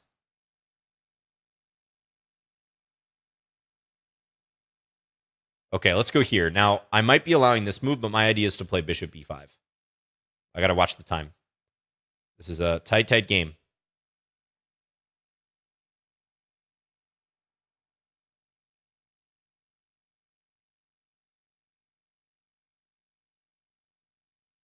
Seems like I'm making some progress, though. Bishop b7, I can always take.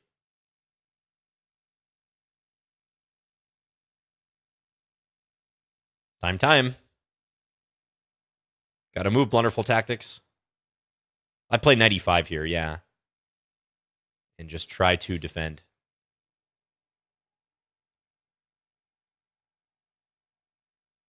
Okay, finally I win a pawn. Win a pawn back. Yeah, things are collapsing now for black.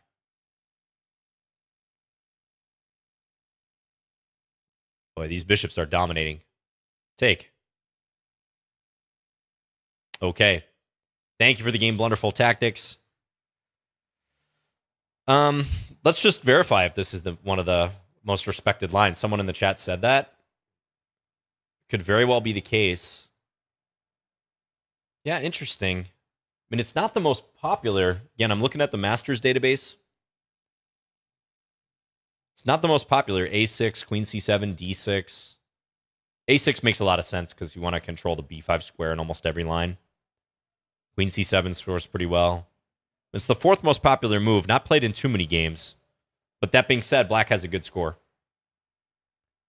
So at least in the Masters database, black's doing pretty well from this position. In the aggregate, out of over 500 games, black is winning a lot more often than white is. So that maybe indicates people know what they're doing when they go into this particular line of the Morra. Personally, when I face the Smith Morra as black, I don't I don't take this pawn. I usually just play d3. But the theoretically approved thing to do if black's going to be really challenging is to take. Yeah, I don't know. This is a complicated game. I mean, I feel like my opponent played well for a long time.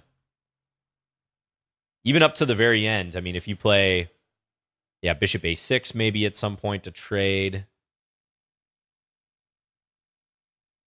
What was I thinking? I thought right here maybe black had a better move. Yeah, probably bishop a6. Because if I trade, I can't even take d7 yet because I got to attend to this. So, close game, blunderful tactics. Thank you. Yeah, that's right. You can also play knight f6 on uh, move 3 against the Morra and try to transpose to an Alapin. Good luck, Interstellar Noob from the UK. I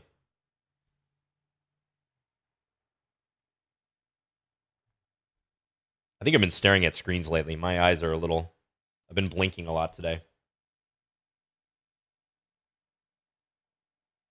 Hello, James on YouTube, by the way. I do see you. Interstellar Noob, are you there? Open up. There we go. Okay.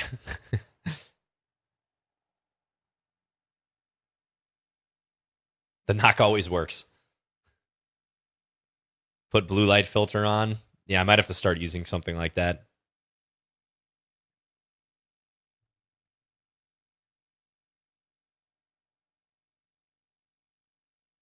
Hopefully, my vision is not degrading. I haven't had to use glasses or contacts or anything, but you know, I'm sure the time will come. By the way, how many of you guys have had LASIK surgery?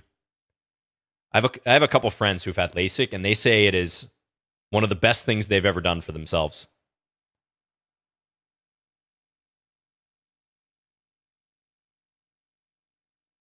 I have a couple friends who just absolutely rave about it.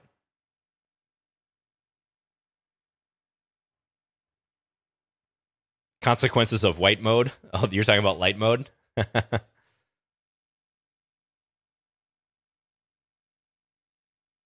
LASIK does seem a little bit scary. I agree. I mean, they're literally cutting into your eye, but very well researched procedure at this point, right?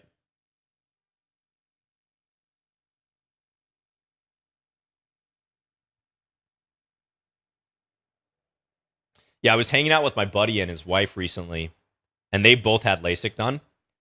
And we were looking at like basically the cityscape. We are up on a rooftop somewhere. And um, they were pointing out signs like very far away that they could see with like perfect clarity. And I couldn't make out like any of the lettering on the sign. And I have like fairly good vision normally. Like I'm positive I don't have 20/20 vision. Maybe I do in one eye, but definitely not in the other one. Maybe like 18/20 or something like that. So my vision's like good, but not absolutely great. But they were they were able to see these signs like with ease read these signs. I was very impressed.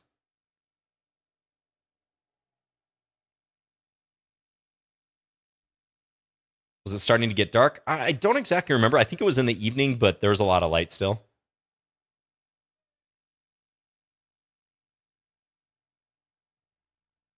I know, right, nature?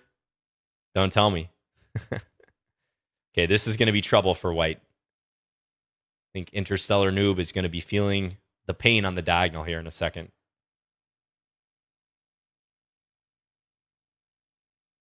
And the worst part is, so a lot of times white could move this knight and be able to recapture with the other rook, but now moving the knight here here is just going to see the knight get captured.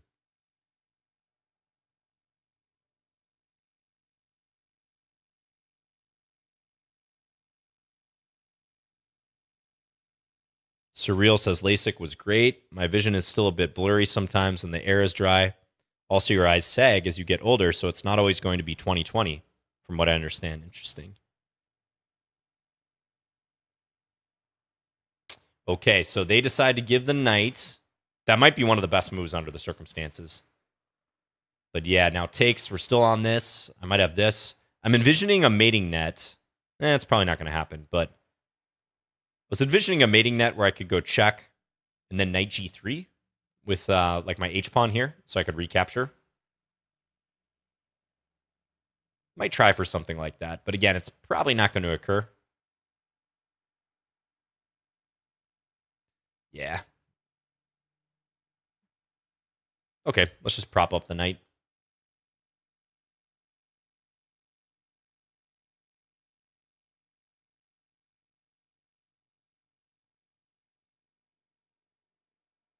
Defend. Okay. Thank you for the game, Interstellar Noob. So he played the bird. And yeah, I think had you taken my knight or maybe played d4 here, still plenty competitive. I mean, even after you lost the pawn, like maybe I didn't play this so well. I actually feel right around here you might have had some compensation. G6 is an awful move according to the engine. The move that I played here is really, really bad.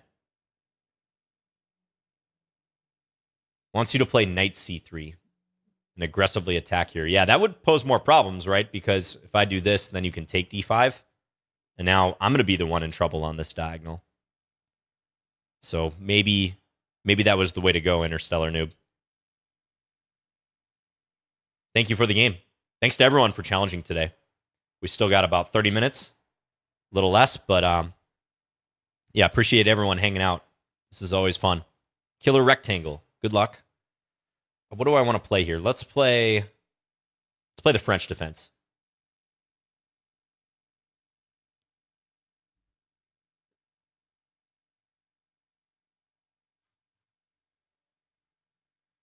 Will I be streaming tomorrow? I might very well be streaming tomorrow on on uh, my channel, Charles.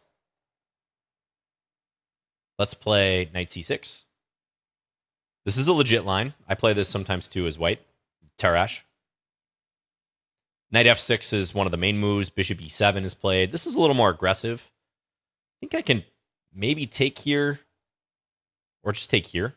Let's take this one because this pawn looks impossible for white to guard.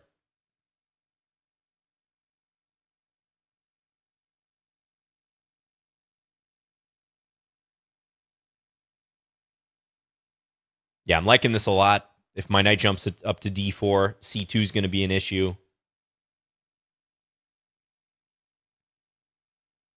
That's a pretty important pawn for white to have lost, and they don't get some compensation they might normally get, like in a gambit. Is c4 actually a legit move in the Tarrasch? I don't think so. Yeah, I think c4 is not good here. I can't imagine this is going to be a good gambit for white. Now, knight b4, when you're playing a move like that, you always got to look at whether queen a4 check is any good fork here and here. But fortunately, I have my bishop defending, so queen a4 could be met by bishop d7. Yeah, now here, I'm just going to pick this up, check, and then win this knight.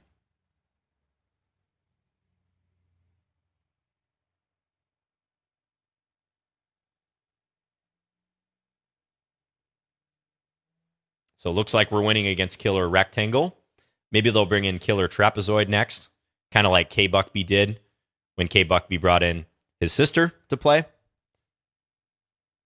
Or maybe Killer Square. We'll see.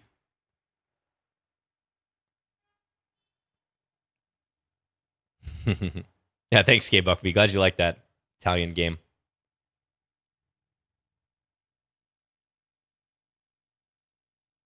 Ooh, we have another near smothered mate. Again, if only this were a rook. If only that were a rook. Here, check. It's the same pattern. Knight g3, queen f1. Just doesn't work. Killer rectangle resign, though. Yeah, they are down two pieces here. So I probably would have gone, uh, in this case, go pick up the rook in the corner, more than likely. Thank you for the game, Killer Rectangle. Yeah, I think just c4 is not, not a good move. Uh, white can play knight f3 here is one of the main moves.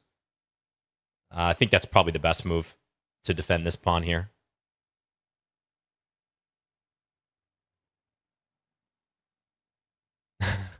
Big youth pastor energy. Yeah. that's what I put in the title of one of my streams lately. Because someone uh, someone commented on one of my YouTubes a few years ago that I like watching John. John has big youth pastor energy. I thought that was hilarious. Hello, Wait Rose. What courses slash books would I recommend that helps with the middle game? Knock knock, Sagi Olive. Your move. Courses with the middle game. We might have to. Ooh, Sagi Olive's there. Okay. Yeah, so the middle game is one of the hardest areas of chess to work on. Um, this is a, maybe a recommendation for slightly more advanced players, but I really like this book called Mastering Chess Strategy by Johan Hellsten.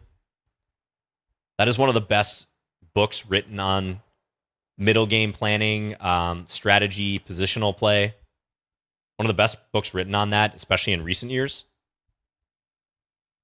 There's also a little book, it's maybe like $10 US on uh, Amazon, called The Positional Chess Handbook that I really like. It's by um, the author Israel Gelfer. And the diagrams are like not so good. It's it's got descriptive notation. It's a little bit old school, but that's like it presents these nice bite-size um, strategic examples, positional examples.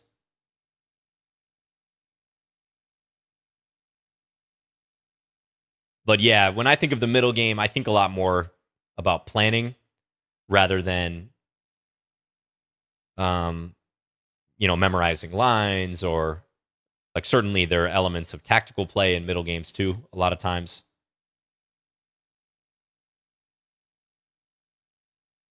But it is the toughest area of the game to like give standalone recommendations because most most of the time your knowledge of the middle game is going to be built by just playing lots of games and analyzing them seriously afterwards.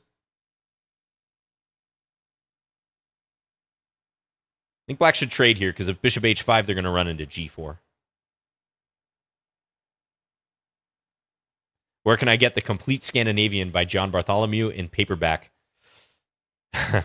I wish I, I wish I had a book title out on that that I could easily refer you to.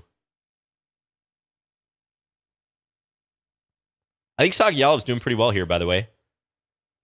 I might have a small advantage here, but I don't know about the position before then.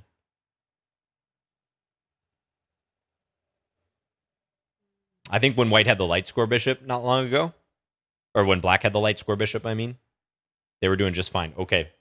Yeah, the curse, the commentator curse. I was praising Sagiyalev's play, and then they hung their queen. Just right on cue. I'm sorry, Sagiyalev. Yeah, you were doing just fine up until then. I would bet the engine actually might give you a small edge. A small edge maybe um, after you win the pawn back. I probably, I don't know why I allowed bishop take c5. It wasn't, didn't connect to me that that was actually a threat. I probably should play knight b3 here, although you might still have some compensation. Yeah, so after after bishop takes c5, you're doing just fine. Yeah, wants me to play b4, defending the pawn.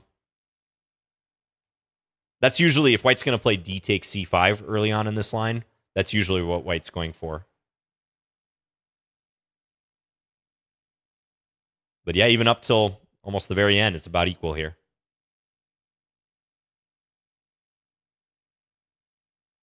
Next, we have Monsieur Jobert.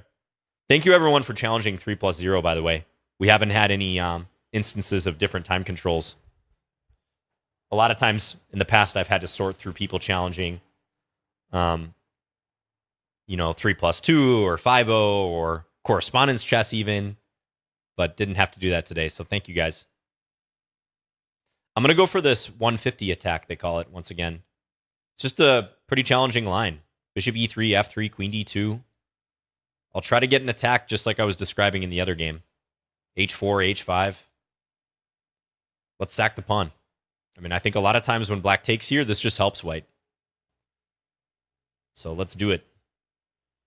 Let's play the bishop in.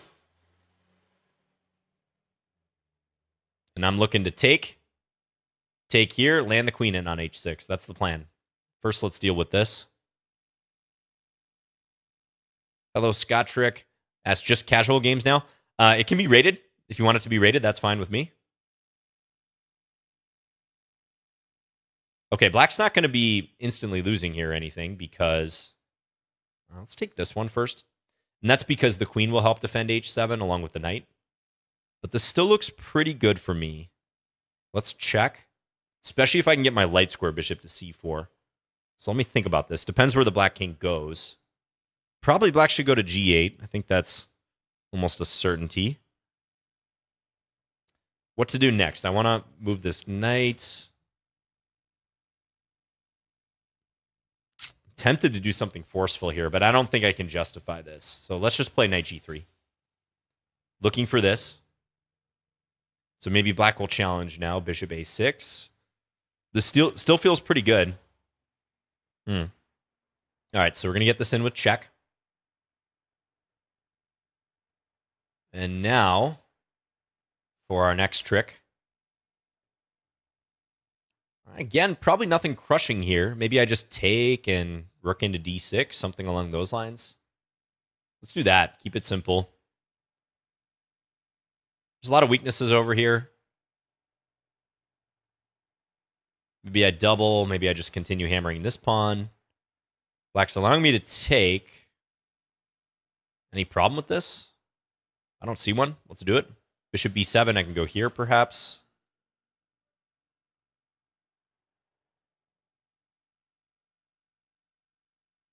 What do I think about the Play Winning Chess series by Yasser? Yeah, great series of books. Absolutely. Really good stuff there. Classic books. You know who was the publisher of those books? I think it was Microsoft, which is like really random. You wouldn't think Microsoft was in the publishing business, much less chess books. But I'm pretty sure that's the case. Let's go here. A little more pressure. I'm going to wait on knight b6 because I might jump to c5.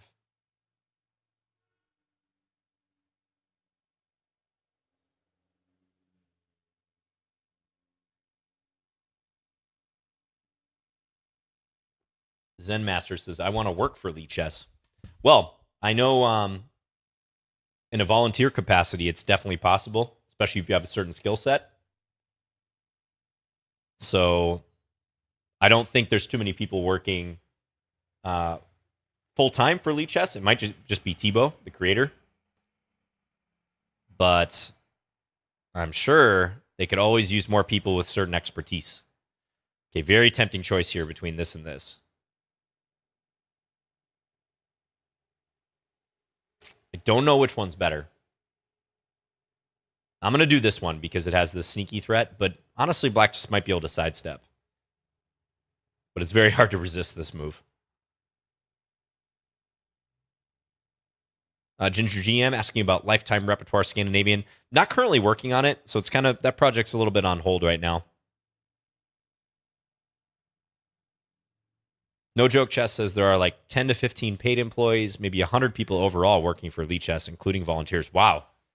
That's that's a lot more than I would have thought, but that's amazing. That's a testament to the community.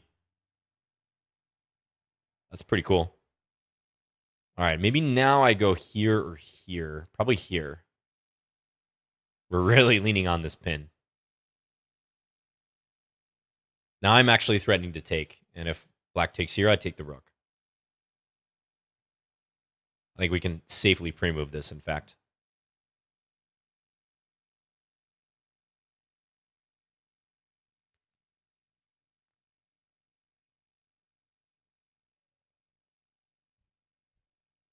Yeah, absolutely. That is a lot of work to maintain a site like Lichess. And uh, Lichess has grown a huge amount for sure in the past couple years. Okay. Just putting the finishing touches on this game. There we go. Thank you for the game, Monsieur. Yeah, tough one. It's another one of these where I got the h4, h5, bishop h6 idea in. Black played a little more in the center. Again, I just don't know about knight bd7 here.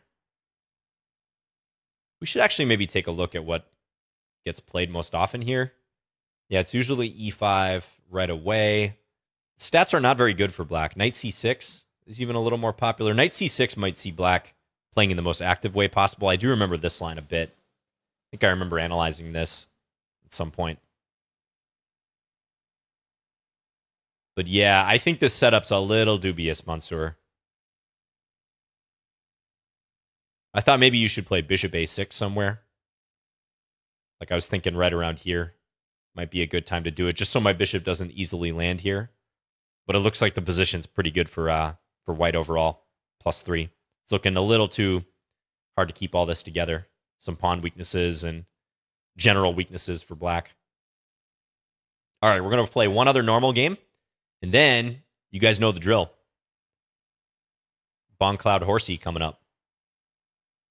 I'm going to put in a food order here. That's my ritual.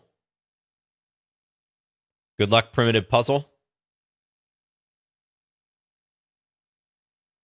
Okay, let's play let's play knight f6 again.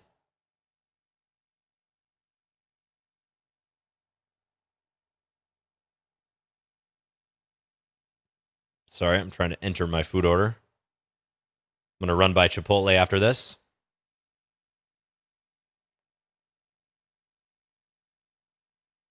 Oop. All right, let's play let's play G6. Let's mix this up a little bit.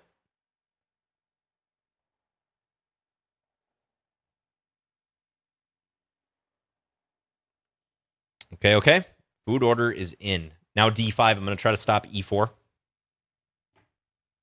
Oh, and they are not to be denied.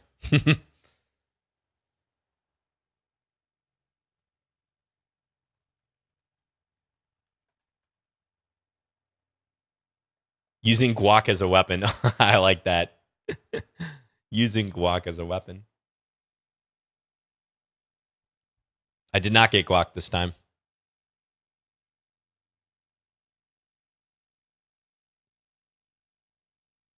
That's a reference to my using the clock as a weapon, by the way, series. It's a series I have on YouTube.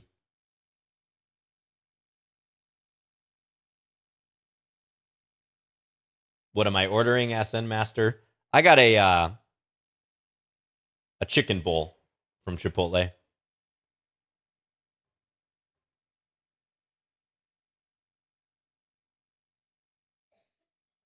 Okay, so I'm winning a pawn back here. So we're staying up one pawn.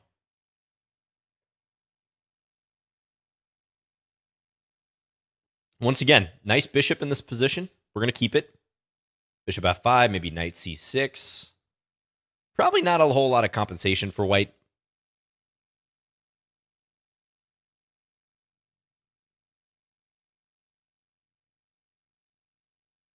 Look to castle and hit the bishop here.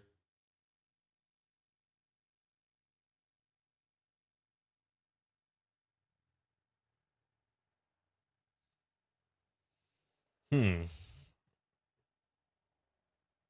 By the way, World Championship coming up soon. I think we're like 40 some days away from the start.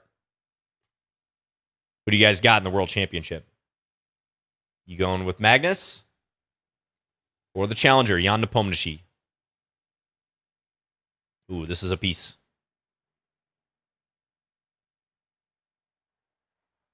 This is another piece. Magnus all the way, says City Scout. Nepo going to get crushed, says Gray Sensei. Love Seattle says, I want a new world champion. So I assume you're rooting for Jan in that case. Yoni Sack says, Nepo still very far from Magnus. Jan is a good bet, says Nature. Interesting. Yeah, I think Magnus is going to win. I think it'll be a pretty interesting match, though. I'm really excited to see uh, Jan in a match format.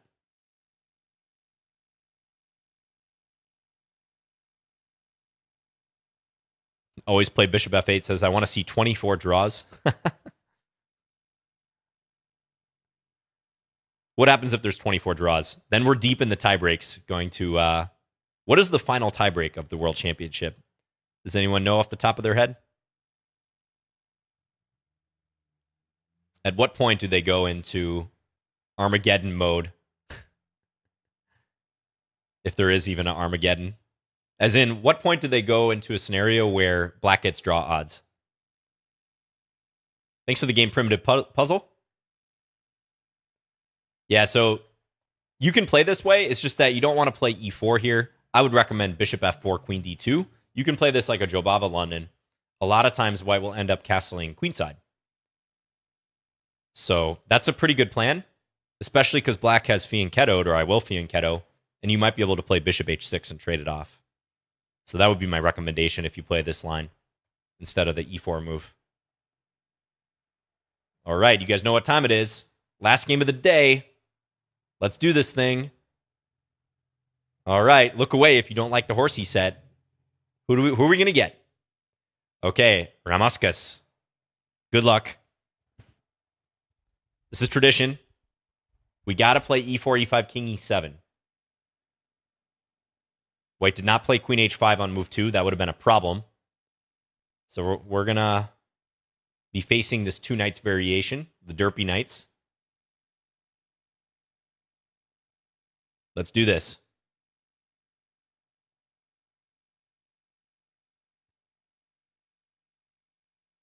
All right, all right. Go g6. You guys want to see me bring my king out to, to f6? I know I do. We're going back, though. Okay, now I feel pretty safe. Even though the point of this opening is not necessarily to be safe, my king is nice and cozy over here. Fianchettoed king, yeah. He's just chilling. Let's play rook b8. Let's attack this pawn down here. And now, tactic alert. I might play rook takes b2, followed by bishop takes c3. That is a possible idea. White's struggling to get dark square control here. That's kind of the problem with trading on f6. Ooh, and I get a chance to do it. Should I do it? Yeah, let's play it. It's flashy. I think it works. Like maybe they could throw in e5, but I think I just take. So this is the point that um, there's a double attack here to win the material back. Okay. And now let's bring. Eh, I don't know if I should allow the rook in somewhere here. Well, let's just develop, though. I think it's all right.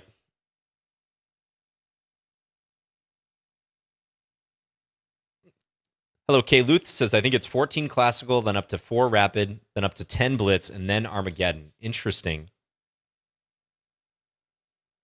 14 classical, 4 rapid, up to 10 blitz, and then Armageddon. Can you guys imagine Armageddon for the world championship? I mean, they got to decide it at some point if it gets to that. But it just seems so far fetched that they would decide the world championship with that. But and I guess I I wouldn't doubt it. This is my idea with Queen A8 to bring this rook over. Okay, we're both bunkered up here. I got a trade now. That comes with check by my opponent. Let's step uh, let's step here. So I'm nursing a one pawn advantage in this position. Let's do this. Bishop e7 looks tempting, but I'm going to go queen b8 and reverse this on my opponent. Okay. So now we're kind of in a interesting endgame here. I'm going to do this, and I'm going to start trying to walk my king up. That's going to be the plan. Ooh, offering a trade. I don't think that's a good idea. Let's see if I can make it to the center quicker than my opponent. I think I can. This is the plan. Going after the pawn. They can play c4, though, to be fair. So maybe I should play c4 here.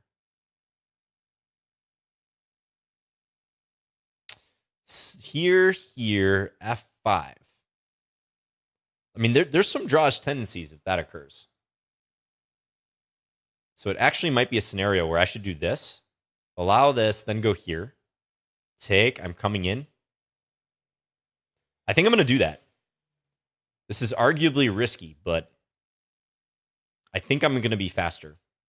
And I need to block my opponent from playing c4. Need to isolate this happy looking pawn on d5.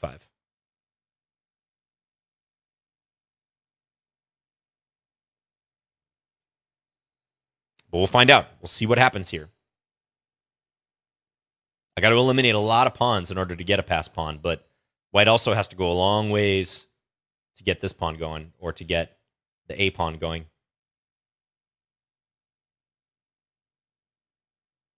Jurglurg says Armageddon would be so funny, but at the same time, I hope it never happens. I kind of hope it happens just for the novelty of it.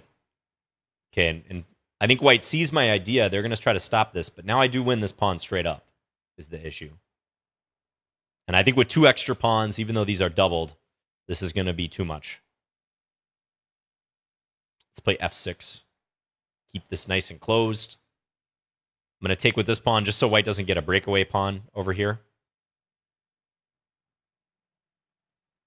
All right, all right. c5 now. Uh, yeah, let's go c5. King f3, I'll go king e6 followed by d5. Now the plan is just d5, d4. Pass pawns. Pass pawns must be pushed. Let's bring the king in. All right. Thank you for the game, Ramuskus. Let's take a brief look at that ending. I kind of wonder, you know, um, this feels just winning for black with the extra pawn, but as I was saying, if king e5 and white plays c4, these pawns are discounted. They're doubled, they're stacked. Your king occupies a decent position for now. Maybe I can try to eke out a win, something like this, but I wasn't quite sure. Let's see what the engine thinks, though. Hmm. I mean, this this eval probably means it's winning for black, but it's not as clear cut as maybe you would expect here. It says I should play h5 or king e5. What about this line? Okay, so the critical variation, let me switch back to uh, non horsey set. Critical variation is this. Now, I was going to play king f4, take here. Ah, but look at this. the engine's just like, no, this is equal. Take. I was trying to calculate something like this. And then try to sprint for a pass pawn. But the engine thinks Good chance that this is just a drawn queen ending. I even queen first. And I can even go for a trade here. I could even do something like this. But now, now white can queen on c8. Yeah, and, and in this race is equal as well. Crazy. That's a lot to process, though. Still, though, I think white had to try king d4.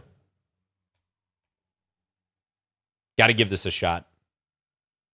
I'm pretty sure I would have played king f4.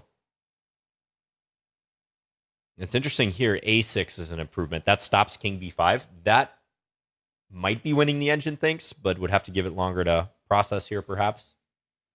Don't know that I would have played that. I might have just gone for king g3. Evidently, c3 is even better. c3 takes king e5. King. This is an instructive ending. Complicated. Then h5. Ah, and try to run white out of moves, like eventually win this somehow. And if king here be open to taking this, they go here.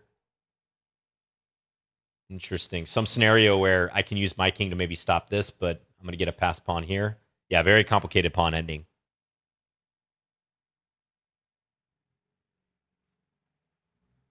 Told you white was way too fast. Well, I don't know about way too fast. White's like one tempo in time in those endings.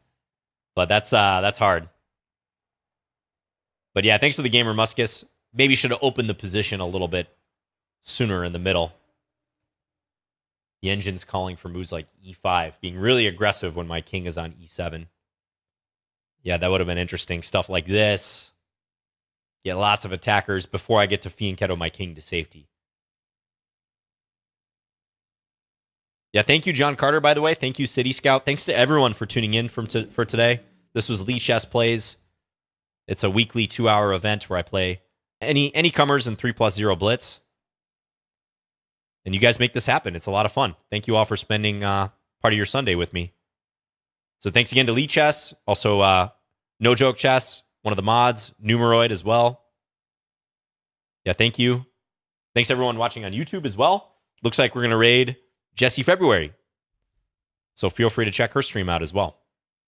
I will see you all next week, most likely. And uh, you can feel free to check out my channel as well, twitch.tv slash John Bartholomew, just my name.